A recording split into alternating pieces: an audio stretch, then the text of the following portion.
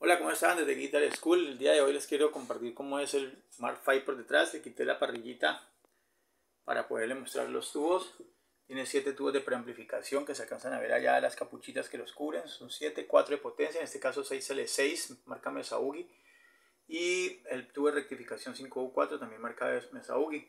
Aquí podemos ver su fusible, el selector de canales, el selector de luz de efectos para switcheras, el luz de efectos con su potenciómetro respectivamente, su perilla de, de, nivel para activarlo o desactivarlo. Cada canal tiene su reverberación y cada canal puede trabajar con rectificación de diodo eh, o de tubo. En el caso del canal 3, que son tres amplificadores de alta potencia para cambiar de pento a tríodo el área de potencia.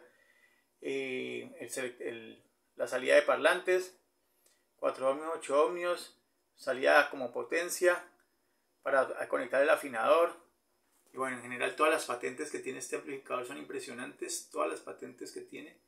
Para prender el ventiladorcito, ahí se oye, y está aquí, el ventiladorcito. Eh, para usar tubo 6L34 o, o tubo 6L6, en este caso yo lo tengo con 6L6. Ahí se ve.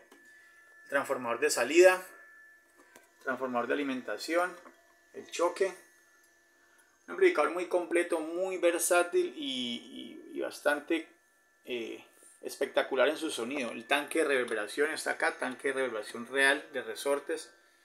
Una maravilla, pues no lo había mostrado muchas veces por detrás con buena cámara, ahí está. Este amplificador es un amplificador pues mítico porque lo usó John Petrucci y muchos artistas más han usado este amplificador. Es el Mark V de la marca americana Mesa Ugi, hecho en Estados Unidos. Bueno, desde Guitar School un abrazo.